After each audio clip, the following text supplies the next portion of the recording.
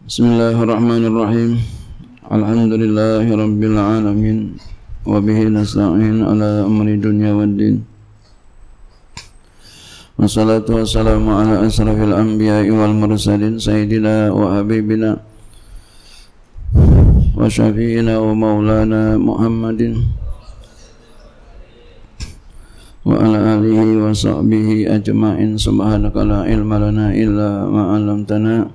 إنك أنت العليم الحكيم.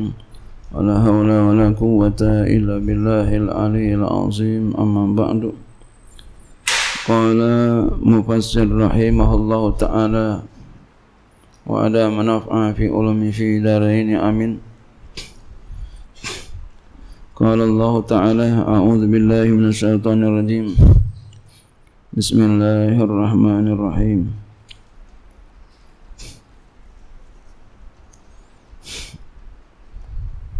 min ajli zalika katabna ala bani Israel annahu man qatala nafsan bighairi nafsin aw fasadin fil ardi faka'annama qatala an-nasa jami'a wa man ahyaha faka'annama ahya an-nasa jami'a walaqad walaqad ja'atuhum rusuluna bil bayyinati summa inna kasiram minhum ba'da dhalika fil ardi lamusrifun. Sadaqallahul azim.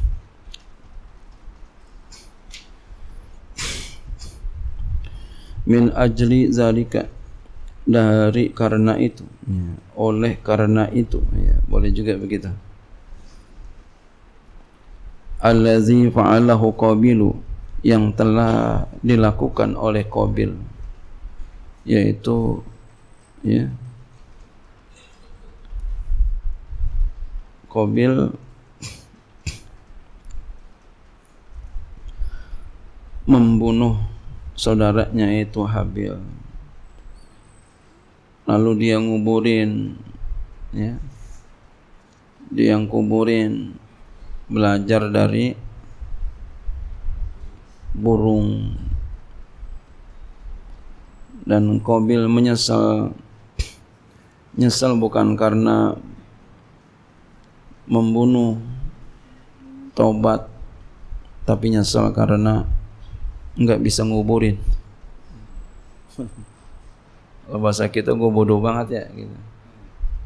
Kayak begini aja kagak bisa.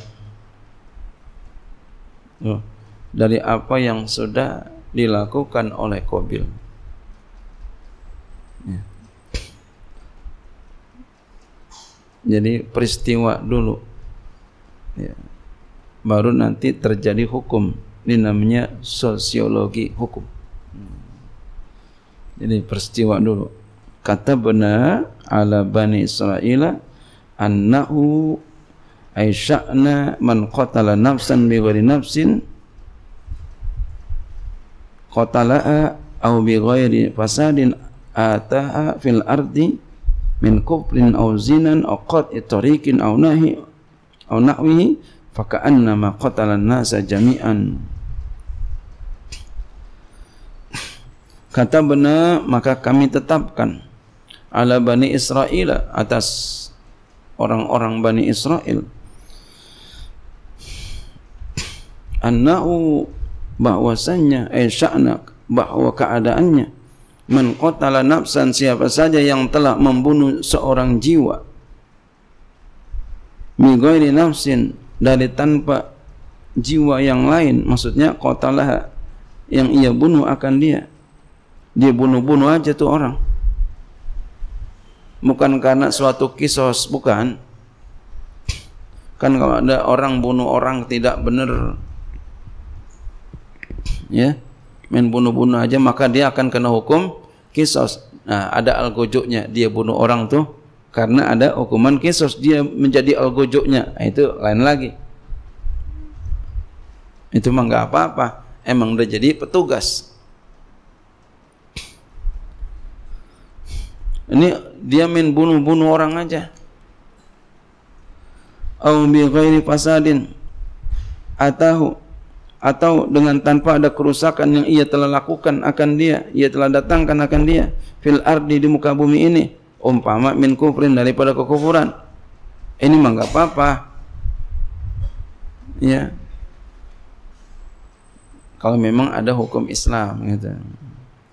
Auzinan atau perzinaan, aqad itrikin atau membegal, au na'wi atau seumpama itu Nah, itu mah apa-apa, namanya ada ilat.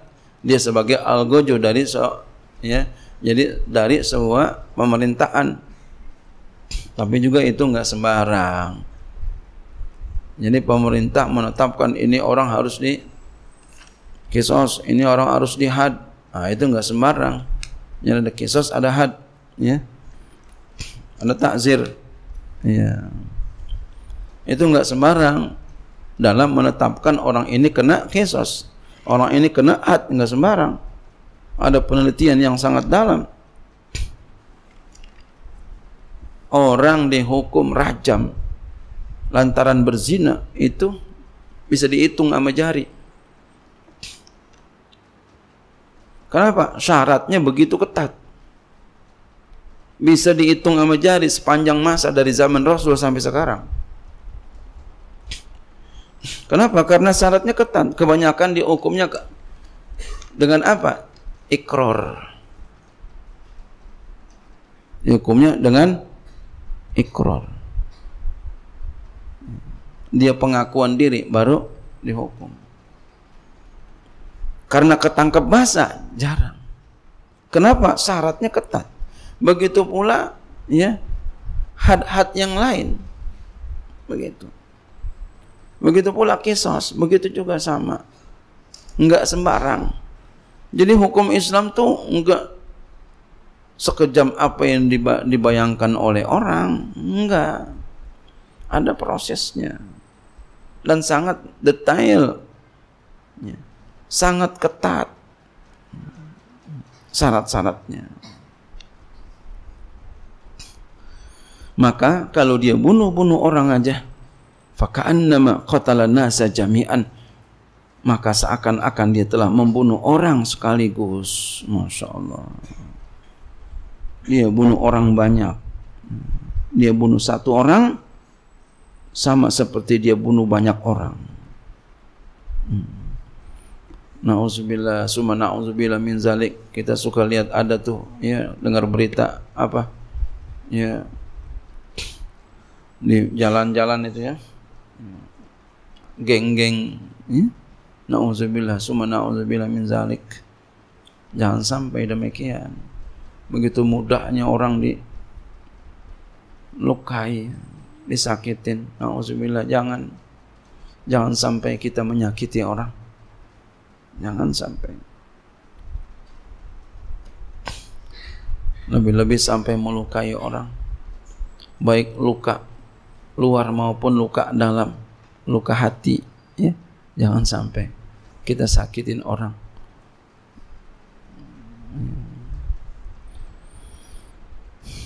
Kalau untuk dipilih mana lebih baik ya mendingan kita disakitin daripada nyakitin. Kenapa? Karena tanggung jawabnya nanti di akhirat. Kalau kita nyakitin orang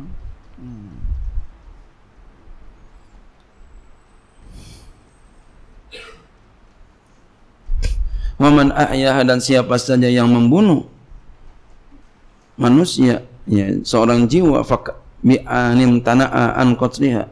Eh waman ahya siapa saja yang menghidupkan seorang jiwa bi anim tana'a an qatliha dengan bahwa dia enggak mau daripada membunuhnya. Faka'annama ahya nasa jami'an maka seakan-akan dia menghidupkan orang sekaligus dia nggak mau bunuh orang, menjaga orang. Nah, dia sama menghidupkan. Keasakan akan dia ahyan nas menghidupkan manusia sekaligus. Masya Allah. Qala Ibnu Abbas berkata Ibnu Abbas, kenapa bisa seperti ini? Membunuh orang sekali eh, membunuh orang satu orang ya seperti membunuh semua orang. Menghidupkan satu orang sama seperti menghidupkan banyak orang, semua orang min haisun tihaku hurmatiha wa saunuha dilihat dari segi merusak kehormatan manusia ya dan menjaga kehormatan manusia. Jadi kehormatannya. Kita kalau kehormatan kita dikoyak-koyak, dirusak, marah apa enggak? Marah banget. Apalagi sampai dibunuh. Dan melihat dari segi itu. Walaqad ja'athum sungguh telah datang kepada mereka ai bani Israel kepada bani Israel rusuluna rasul-rasul kami bil bayinati dengan bayinat ail mukjizati segala mukjizat rasul-rasul kami itu membawa mukjizat summa inna kasiran kemudian sesungguhnya banyak minum di antara mereka ba'da zalika setelah itu fil ardi di di bumi la musrifun melampaui batas. Siapa tuh? Humnya tuh Bani Israel melampaui batas. Mujawizunal hadda bil kufri. Mereka melampaui batas dengan kufri melakukan kekufuran. Wal qatri membunuh. Wa ghairi dan lain demikian. Dia bunuh orang, dia kupur. Ini melampaui batas. Ini menjadi pelajaran buat kita supaya kita jangan jadi orang yang menyakiti orang lain. Ya. Jangan kita menyakiti orang lain, apalagi menyakiti Allah. Menyakiti Rasulullah. Menyakiti Allah melakukan dosa. Yang paling dosa dosa syirik.